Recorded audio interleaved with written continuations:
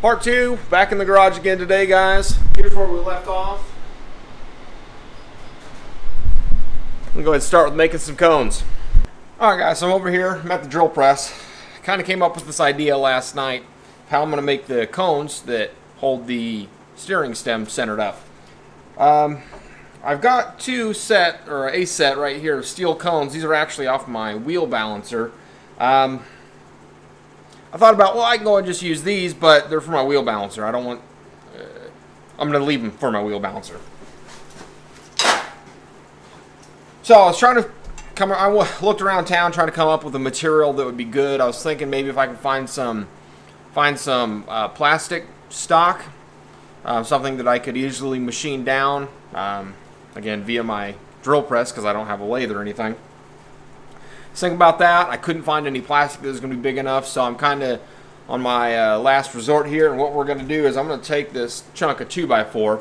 I'm going to cut it down the center. I'm going to drill a half inch hole in them because that's what size my all thread is. And we're going to bolt it to that. We're going to stick it in the drill press. We're going to run the drill press while I'm using my angle grinder with a sanding disc on it. I'm going to sand these down into budget cones. Let's get it going.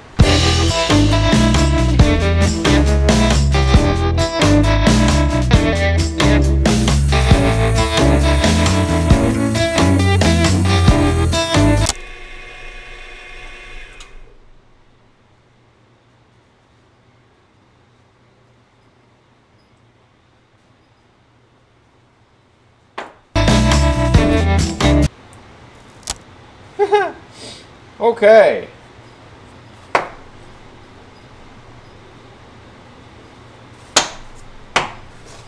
Guess I'll try some wood that's not 20 years old.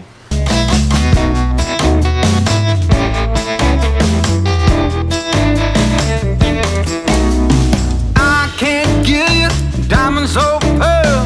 Hand on the moon and take you travel the world. But I can love you. Yeah, I'm gonna love you. I'm gonna love you. Okay, I'm not 100% sure how this is going to turn out. But I can take a guess. I'm going to give it a shot because it's what I got right now. Alright, initial wind up here. Let's see how it does.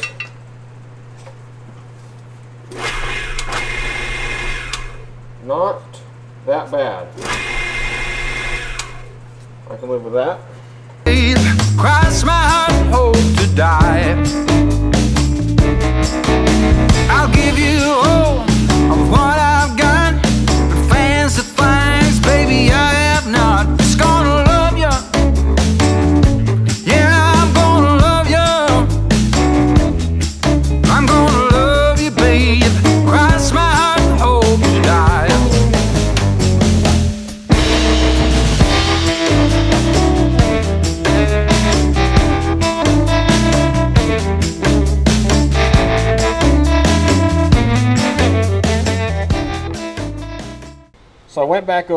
made this a little bit, took the washer off so I can make a little bit thinner up top. And what I'm going to do is final sand it.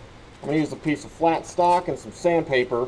I'll hold that up against there to make sure that this is all nice and even and straight and uh, centered on the bore.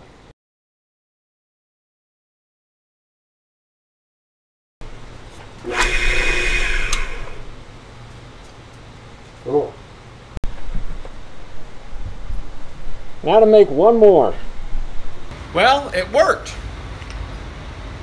They might be like a one-time use thing because uh, if you tighten them down too much, it'll get a, I guess, a wear mark or wear ring in it from the metal being clamped onto it. But anyway, but from now on, uh, I think I'm gonna stick with metal working because it is crazy dusty in here. Look at the workbench.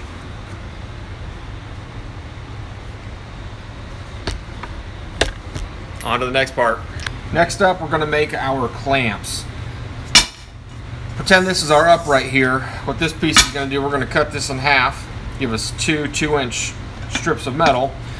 One will go on the underside, the other one will go on this side. We'll have four bolt holes and that'll pinch these together. What that'll allow me to do is have an adjustable clamp to slide up and down on the upright, and then my steering stem holder will branch out from there. The same thing is going to be done for the axle holder, or the axle plate holder.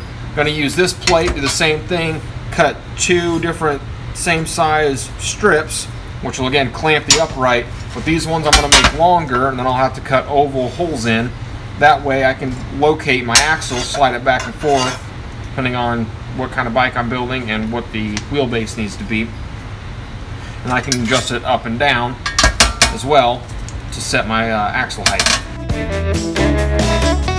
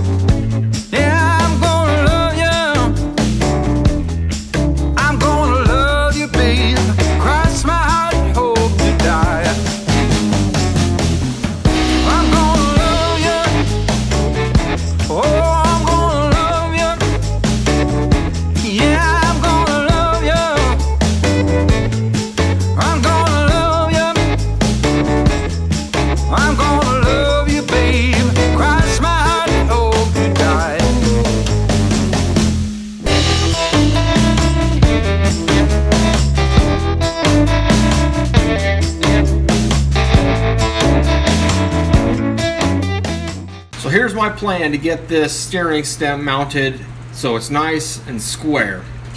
I know that these plates are going to be square as they sandwich the upright. So the next step is I'm going to cut off another, basically a cube off of some of this metal. And I've got this threaded nut, or threaded bushing in this case. I've got it ground down so it fits on the inside. So this little cube is going to house this.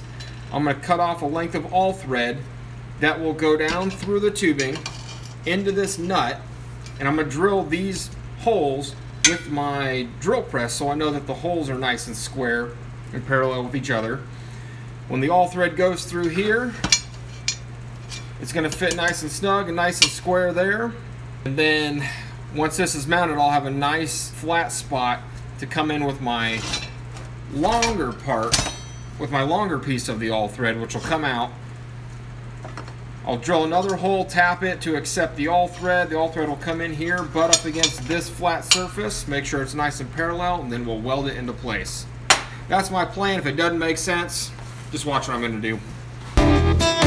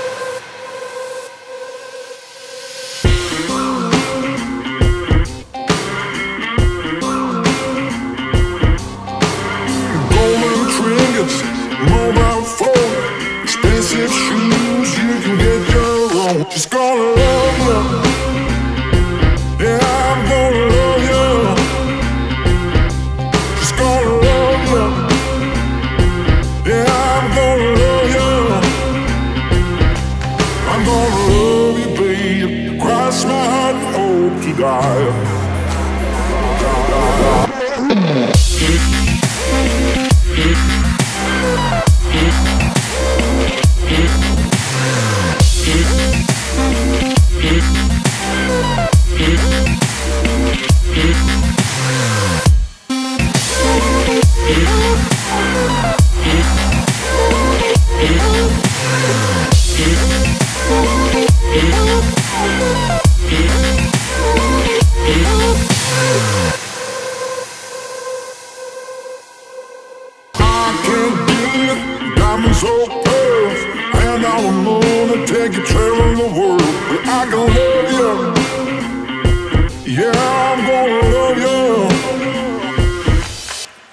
I'll give you all